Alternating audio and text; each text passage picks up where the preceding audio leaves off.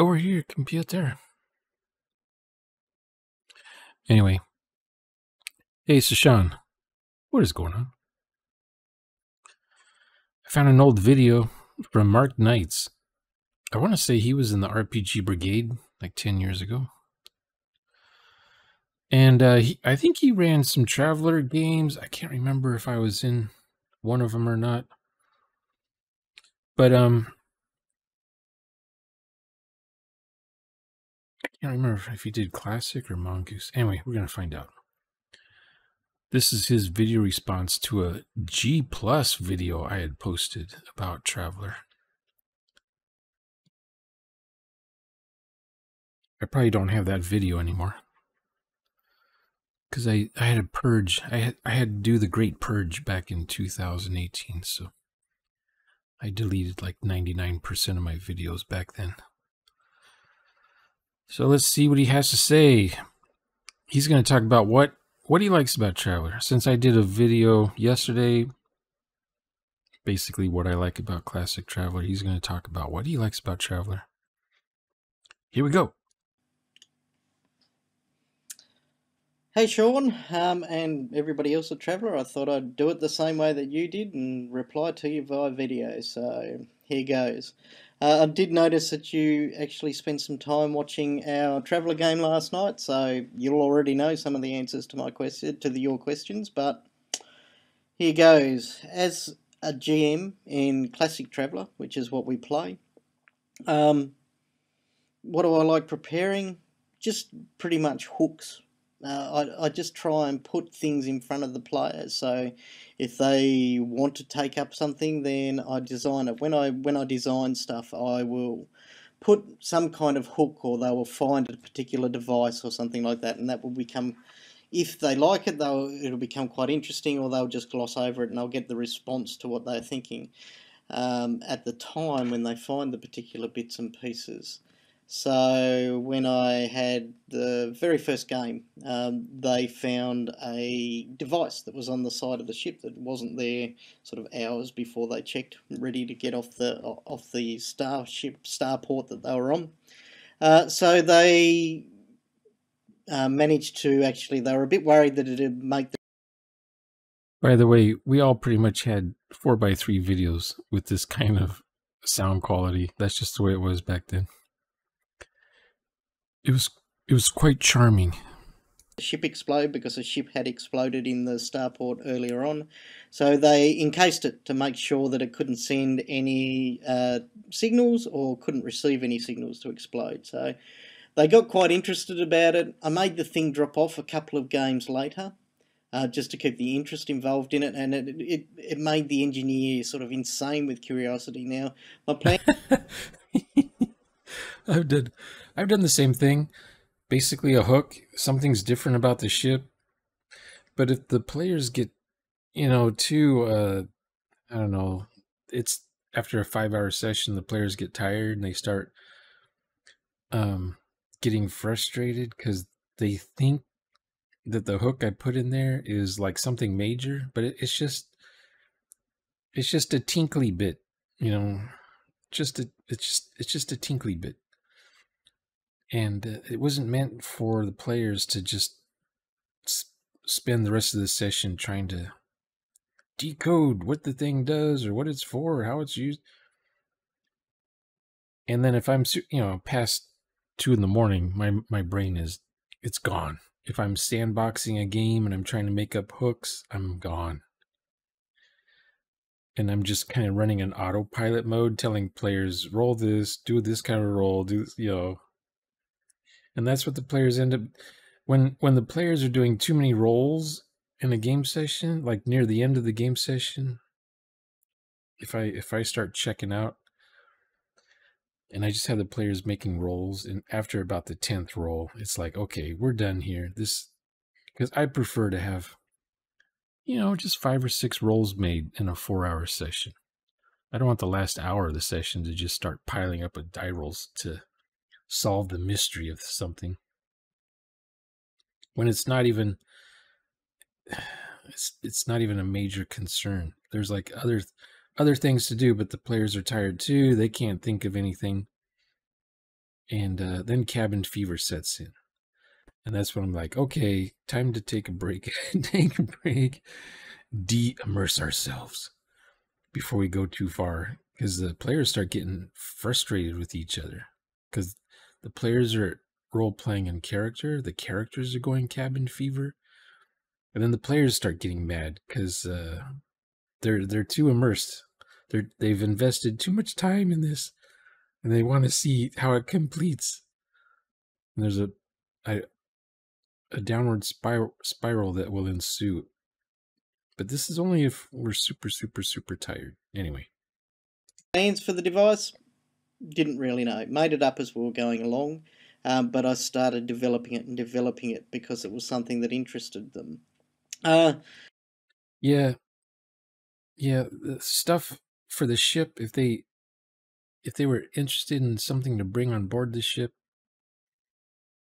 it would become, you know, something that was just a, a usual item of theirs that they always went went to.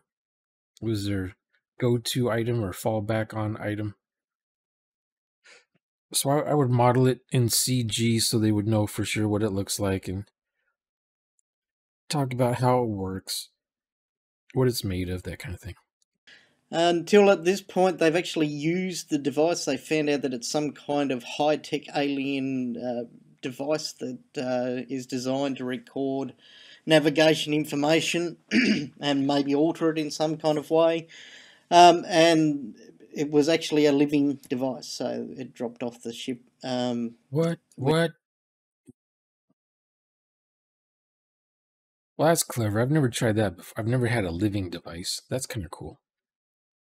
And it died, and they have used the circuitry to repair some damage that they did at one stage.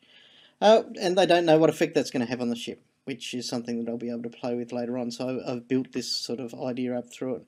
Now the game that you watched was um, them coming across. Well, it wasn't necessarily uh, too much of a surprise for them, but they shot off into deep space that uh, was suggested that there was nothing there when in fact there was actually a um, space station there, and they were chasing uh, another ship. Um, which they found there, but just before they came out of jump, uh, their sensors warned that they shouldn't be jumping out because or shouldn't should set up their uh, deflectors at the time where when they got out because there was a huge radiation surge. Uh, and that radiation surge dissipated just before they came out of jump and there they came in and they saw this space station had broken in half. And the starship or the gunboat that they were actually traveling was um, a little bit off the starship, and they all actually thought that, oh no, you know, it's blowing it up. But in fact, it was uh, not the gunboat that had done it. The gunboat seemed to be dead in the water, and you saw the adventure where they boarded the gunboat to find out what went on. Now, what did they find on the gunboat? Well, they found quite a few sort of zombie like creatures running around that had been affected by organic. Uh, some kind of organic um, material that had animated them past death. Uh, they had been eating on some of the crew, not that they actually went that way or found any of this sort of evidence, but they essentially came across some kind of alien life form that had a crab. Yeah, I'll create a whole bunch of scenarios in my head, not necessarily to reveal all to the players, but you know, the players might discover some of it, a hint of it, but never all of it. The players never, you know, other stuff's going on, so the players never learn the whole true background of why something happened and I like I like that there's mysteries left behind kind of a thing. Like shell. Uh, so I get off a bit with the and this was a planned event. Uh, the whole Pandora's boxing was something that I planned. I have the things where I put hooks in front of people and I actually just see where the players want to go. We wanted to do this where they were travelling merchants sort of stuff. They've now got sort of been involved with Imperial Navy and they are travelling the uh, universe pretty much doing jobs for the Navy so the Navy will pay their ship fees over time and then they'll head back to being merchants and wandering around and sort of doing all that sort of stuff which is kind of exciting and I let it roam if they want to do something, then they get to do it. But I have certain long term plans for this game, certain things that I want to include, that I want to explore. And one of them was the hovering derelict ship full of zombies. And that's because I'm a huge, massive Dead Space fan. Um, and I wanted to see if we could inject that kind of thing into Traveller. I didn't realise it was such a common thing to do until you mentioned that, you know, do you have those zombies running around and, and doing that sort of stuff? But yeah, the video I had, I was describing a generation ship. Instead of it going to its star system after like, I don't know, 300 years or so, it returns back to the planet it had left. And it stops. And it's just, it's just hovering in the air about half a mile up, just hovering there in the sky. It's a big, huge ass generation ship. You know, it holds about, I want to say, a hundred thousand people. And uh, the uh, the people on the ground are looking up with this at this thing with you know telescopes and thing, and they they zoom in. And uh, you know, this is before drone technology, so I didn't have drones in my game or anything. But if you use a telescope, you can look at the hovering uh, ship and you see something like a hatch open on the side, and it looks like people are jumping out. They're jumping out, falling to what appears to be their death. It's like, and I wasn't really describing, I wasn't giving the answers all right away, but the, uh, it's, it's basically uh, everyone on the ship is a zombie and these are the fast zombies.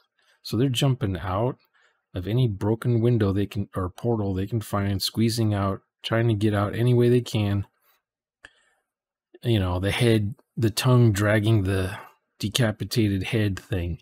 That's how some of them are moving. And they're just falling out to this either open airlock or something. It was probably an open airlock and they hit the ground and they get all busted up. But then some of them are still able to run and move, and they're coming after the people that are standing around wondering what this ship is because, you know, the ship had left like 300 years before. And now you got this like army of zombies just falling out of the sky and then running towards everyone. But I got a good reaction out of the crew. I had one of them moaning as they were heading in, and they could see things like blood on the floors and stuff like that. And I used Roll20 to uh, almost its best tonight in that reflect, and used a couple of the the, the sounds, etc. So that's what I like. I like seeing. I like throwing hooks out. I like seeing what hooks the the uh, the players, and I like to investigate with them as they head along those particular hooks. I remember. Yeah, I used to put yeah, years ago, over 10 years ago, I used to put each week I would put a traveler hook video about six minutes long. Just a traveler hook that referees could use for their quests or side quests or whatever. So I was doing that for the longest time. Hook lines, but I also have long term plans that I want to meet myself, and I uh, thought of those when I took on the role of the the referee when I decided that yes, okay, I'll run a game of Classic Traveller again. It's a fantastic sort of game. We have a blast every week. Occasionally some of the rules gets us down, but it's just a fantastic thing. So, Sean and everybody on the Traveller side, there's my answer to exactly what does it mean for us. And for me, that's what I like. Catch you later. So I'll put a link to his um his YouTube channel in the description. And uh, maybe he still does Traveller games. I don't know. I'll have to go look myself. Talk to you later.